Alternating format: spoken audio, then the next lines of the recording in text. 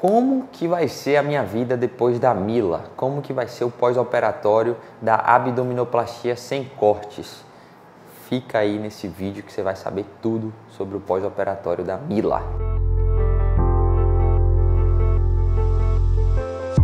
Pessoal, você que chegou aqui nesse vídeo, você vai saber tudo sobre o pós-operatório da Mila.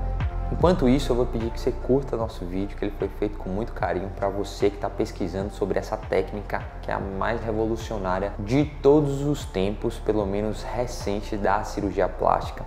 Eu vou pedir que você se inscreva no nosso canal e que você compartilhe com alguém que está pensando em fazer a cirurgia da Mila, da abdominoplastia sem cortes e quer aproveitar para se programar, para saber como que vai ser após a cirurgia, certo?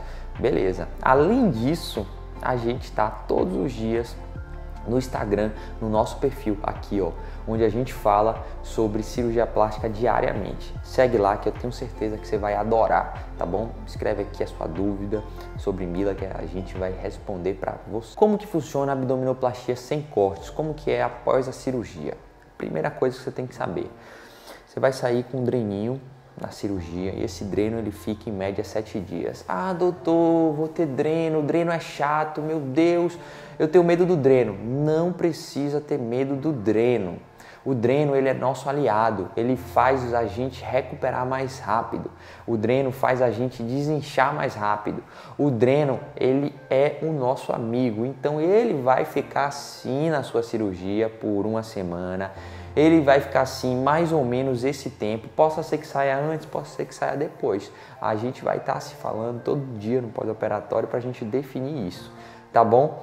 Então tem o dreninho sim, e é justamente após a retirada dele que você já vai poder fazer muitas coisas. Ou seja, a primeira semana é a mais chatinha, onde você vai estar em casa, você vai estar mais inchada, vai estar se recuperando. Por quê? Porque toda mila a gente sempre faz uma lipo ultra HD, onde a gente define também toda a, o, o, seu abdômen, a gente define também todo o dorso, a gente faz o remodelamento glúteo e isso é muito bom, isso é muito bacana.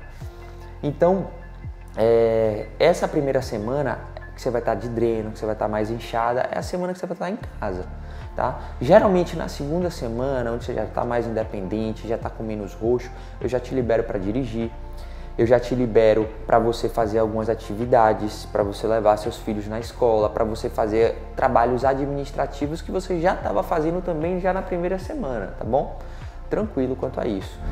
E o meu objetivo é que mais ou menos com 15 dias você volte para academia. Meu Deus, doutor, eu vou voltar com duas semanas para academia. Esse é nosso objetivo nas nossas lipos Ultra HD e também nas nossas abdominoplastias sem cortes.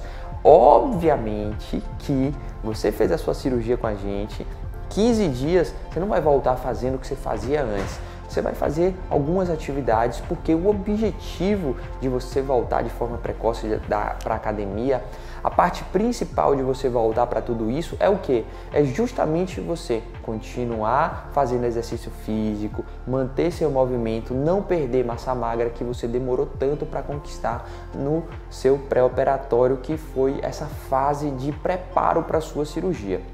Deu para entender? Então beleza. Então a gente já sabe sobre o dreno, a gente já sabe sobre quando que você volta para fazer atividade física. Então geralmente nessa segunda semana você também já está dirigindo.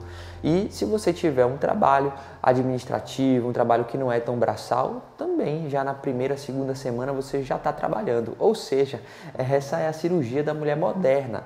E isso só é possível porque porque a gente não faz aquela retirada da pele na mila. A gente não precisa fazer aquele corte tão grande que a gente faz na abdominoplastia convencional.